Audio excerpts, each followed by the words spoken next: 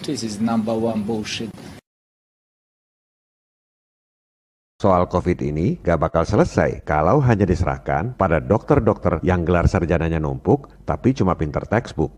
Yang kita perlukan adalah investigasi intelijen atau kecerdasan. Mari kita gunakan fakta dan data. Mohon agar Pak Menhan, Pak Kepala BIN, para anggota dewan, para akademisi dan cendekiawan buka situs resmi ourworldindata.org yang mengolah data dari John Hopkins University. Kita cari data kasus COVID Indonesia dan Cina. Grafik ini dibuat per 1 juta penduduk. Yang warna hijau adalah kasus COVID di Indonesia sejak tanggal 1 Maret 2020 lalu sampai tanggal 20 Mei 2021 saat video ini dibuat. Yang warna biru adalah kasus COVID di Cina pada periode yang sama. Terbukti bahwa kasus COVID di Cina dari tanggal 1 Maret tahun lalu sampai sekarang jauh sekali di bawah Indonesia.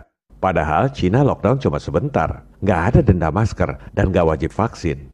Indonesia PSBB terus-terusan, anggaran jumbo Erick Thohir 688 triliun, denda masker, denda vaksin, hasilnya tanggal 20 Mei 2021 dihitung per 1 juta penduduk. Kasus COVID di Indonesia itu 1423 kali lebih besar dari Cina. Mau ngomong apa? Bahwa denda masker dan denda vaksin itu untuk mengurangi kasus COVID. Buktinya Cina lockdown cuma sebentar, nggak pakai denda masker, nggak pakai denda vaksin, kasus COVID-nya malah 1423 kali lebih kecil dari Indonesia.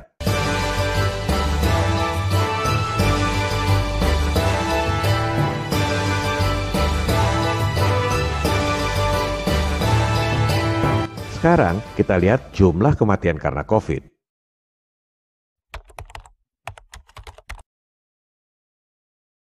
Yang warna hijau itu kematian COVID di Indonesia. Warna biru kematian COVID di Cina. Nggak ada orang mati karena COVID di Cina. Padahal nggak pakai denda masker dan nggak wajib vaksin. Sebodoh apa sih kita?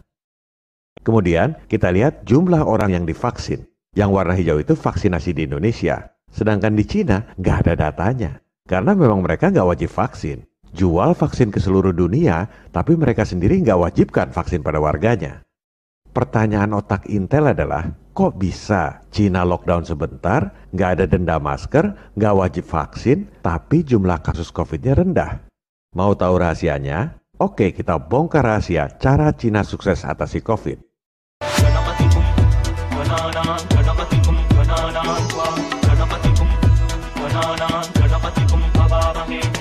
Harap perhatikan baik-baik. Ini rahasianya.